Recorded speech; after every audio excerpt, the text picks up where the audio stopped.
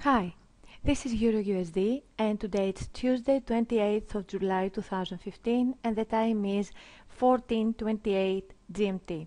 I'm Sofia Stavropoulou and this is a video signal for Forex ID Academy members, FX Holics, Forex Signals apps users and WhatsApp Signal subscribers. I'm using Ichimoku Kinko Hyo, Bollinger Bands, Fractals and Stochastics.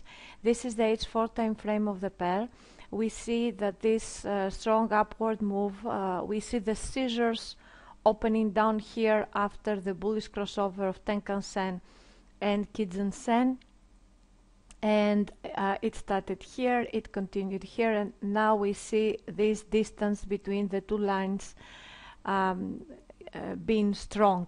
So after the statistical validation downward move to the median Bollinger Band um, uh, of the price, we expect it to continue its upward rally.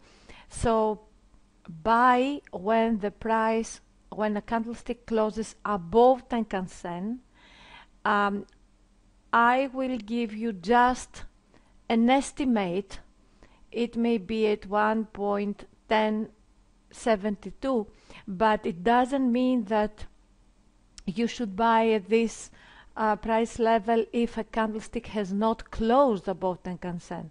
Okay, so buy when the price closes above Tenkan Sen, place your stop loss below Kijun Sen at 1.0984 and um, your take profit target can be placed at uh, 1.1184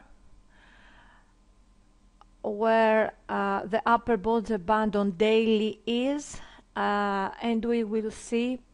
The price looks like it wants to to to go higher but we will see if it will manage to do so. Thanks for watching and happy pips